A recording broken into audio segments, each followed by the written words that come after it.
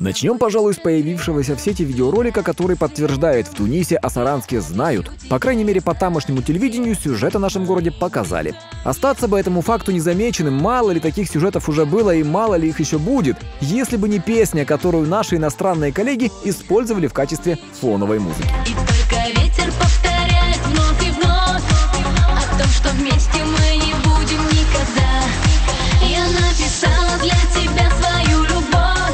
А что, веселая песня, динамичная, но смысл? О нем, похоже, никто не задумывался. Наверное, именно так для носителей языка выглядят наши попытки использовать в своих материалах песни, смысл которых мы понимаем не до конца. Зато что наши коллеги из Туниса точно понимают хорошо, так это приглашение в наш город. Ахат Эриати. Фисаранск. А когда гости приедут, мы уверены, в социальных сетях появится множество такого рода роликов в которых болельщики покажут своим соотечественникам, что они потеряли, оставшись дома.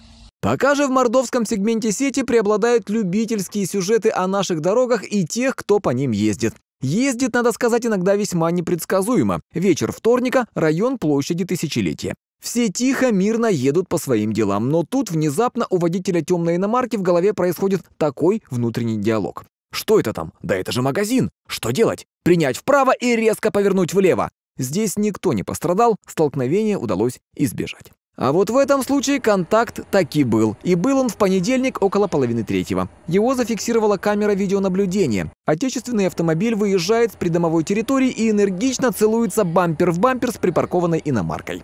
Дальше водителя какое-то время терзают смутные сомнения, но вскоре он их решительно отметает, чтобы поступить как настоящий «нет, не мужчина». Здесь должно быть другое слово, тоже на «М». В общем, уехал он. Не надо так. А вот так надо. Те, кто смотрит нас постоянно, знают, что коллектив 10 канала периодически пополняется усатыми и хвостатыми сотрудниками. Вот и сейчас вместе с нами живут и работают в качестве пушистого антистресса милые котята. Их наши коллеги спасли из подвала, где зимой, сами понимаете, не сахар.